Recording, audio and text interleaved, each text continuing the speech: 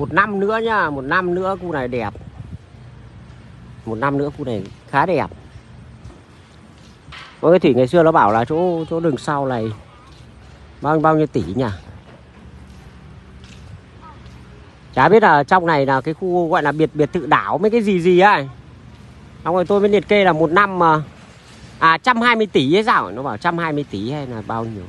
Hay là 200 tỷ ấy xong nập với cái đéo gì ấy. biệt thự đảo mấy cái gì ấy.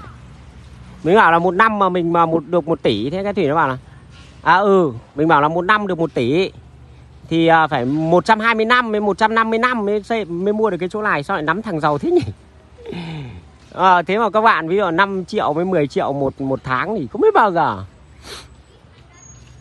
Đúng rồi cái vụ mà mà con à, ba đứa con gái nó đốt mẹ này thì cũng mệt cho nên là nhiều người sẽ bảo là nếu mà mà mà cách giáo dục của mình hoặc là các thứ ấy, là phải dạy người ta cách làm giàu tự bản thân người ta. Con người phải tự làm giàu bằng bản thân mỗi người, đừng mong vào cái tiền trúng số mới cả cả cả những cái vận may hoặc là những cái tiền thừa kế hoặc các thứ. Chứ toàn mong chờ vào bố mẹ để cho thế nọ thế kia là mệt. Đôi khi thì bố mẹ để cho thì nó nó sẽ thuận à, khởi đầu khởi đầu với cả, khi ấy thì nó sẽ thuận lợi hơn còn vào đây thì thấy dừa rất nhiều. Dừa thì tôi biết lâu rồi và cũng ấy rồi nhưng mà bây giờ trong này nó trồng lê mới cả. Đó gì nhiều lắm.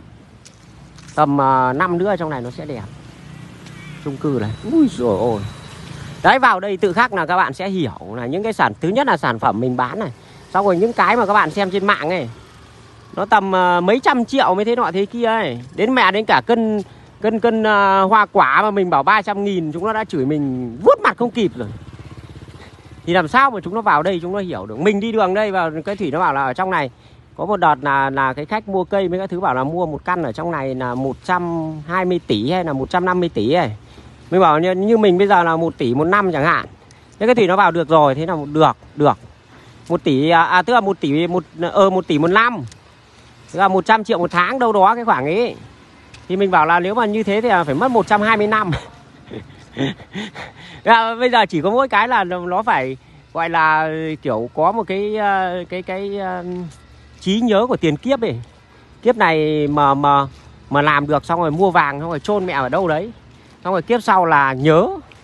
Kiếp sau là nhớ nhớ là là kiếp trước mình chôn vàng ở chỗ nào đấy. Thì sẽ có tiền mua trong này. Nhưng bây giờ làm sao được? Còn cũng là nói chung là nếu mà nâng cao thu nhập thì lại phải tìm cách khác. Nhiều cái khác nữa đó, phải hy vọng là đâu đó nó phải rơi vào tầm chục tỷ chục tỷ một năm. Thì mất đâu đó là 12 năm. Thì sẽ mua được căn ở trên kia có những cái cái nhà mà nó nó ở trong này này. Nó hoàn thiện rất đẹp, nhưng đây là kiểu nhà vẫn còn chưa chưa ai ở hay thế nào, thế kia ấy. Hoặc là cái người kiểu đầu cơ ấy, người trong trong Hà Nội hay là ở đâu đấy, người trong giang hồ. Người ta mua ở đây 120 tỷ, xong rồi cầu mong là hoặc là người ta sẽ úp soạt được một ai đấy để người ta bán được khoảng hai ba trăm tỷ ấy đó, chuyện ở trong này thì cái thủy nó nói tại vì nó để ý bất động sản tôi để ý mẹ đâu. Đất cát thì thi thoảng nói thật ra nếu mà mua ở đây thì mình vẫn ấy à. Nó cứ bảo là mua ô tô với các thứ hoặc anh em bảo mua ô tô ấy.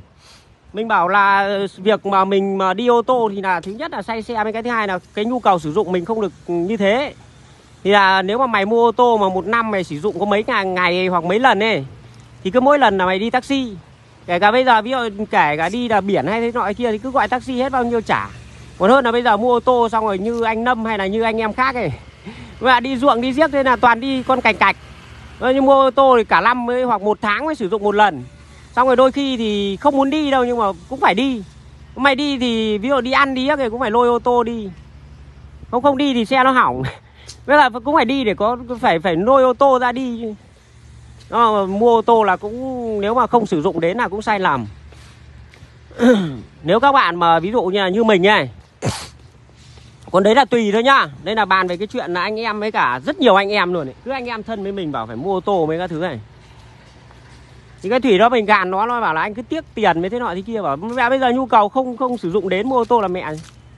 Nó bảo ô tô bây giờ rẻ có mấy tháng lương với thế nọ thế kia là là là mua được. Nhưng mà bảo nếu mà mày thích đi mua ô tô thì mày cứ đi đâu mày gọi taxi đi cho nó ấy. Đây lê này. À, những cây ô tô đây hoa đây quả đây. Hoa quả đây nhá ở mấy ở trong này những cái kia đấy quả đây này. Ở đây đây này. Quả đây đây này. Đây này. Đấy. Đây là đang ờ, ở nói chung là không phải ở giữa Hà Nội nhưng nó là Hà Nội. Ở Văn Giang hoặc Hà Nội. Cái thủy là, là một cái cây này là nó bán 6 triệu hay sao ấy ngoài cái thủy gốc này này. Gốc này con này cũng phải tầm vanh nó tầm 60 nhỉ. Đấy được bề, bề ngang của nó là 20 phân đấy là hình như giá bán lẻ hay sao tôi không biết đâu. Và mình kiểu mình không biết thì cứ nghĩ cây này phải hai chục hoặc là bao nhiêu bao nhiêu ấy. Nhưng nó bảo là em bán cái loại này có 6 triệu. Đây lê đây. Ghê kinh. Mấy cả đây là cỏ mấy cái đéo gì ấy. đây là cỏ chứ không phải hành đâu. Đi đi cho con nó đi uh, làm ấy. Nhưng mà vào đây nếu mà nói thật ra là các bạn cứ vào đây này xong rồi à, đôi khi các bạn không hiểu thì các bạn hỏi xem là mua một căn chung cư ở đây mới thế nọ thế kia, hoặc mua nhà mặt đất, hoặc là mua các cái con cái thủy nó vào là trong này là 120 tỷ. 120 tỷ. Mình mới bảo là một năm là mình được một tỷ, thì phải 120 năm. Đấy, thì các bạn cứ thử suy từ suy thu nhập của các bạn mà 120 tỷ thì phải bao nhiêu bao nhiêu bao nhiêu kiếp.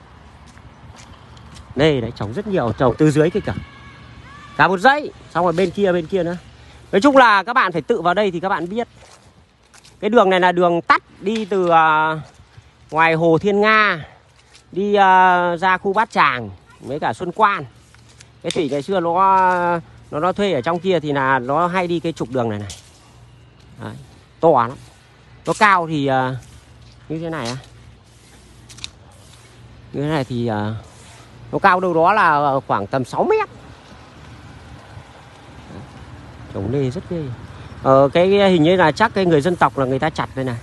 Cái chặt để để ra hoa hay thế nào ấy. Ờ, cũng chặt có những vết tích tích chặt. Và thế này rồi giá giá cái những cây lê này là rồi nó cũng tăng tăng tăng tăng đấy.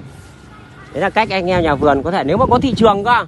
Chứ đôi khi là biết nếu mà vào trong này thì thường là Ecopark nó dẫn đầu thị trường ấy dẫn đầu cái xu hướng ở trong này cứ mỗi lần đây có bác nó trồng cái gì nó gom ác liệt. Ngày xưa là cả cái dâm bụt mấy cái gì gì đấy. Đây tòa hai tòa.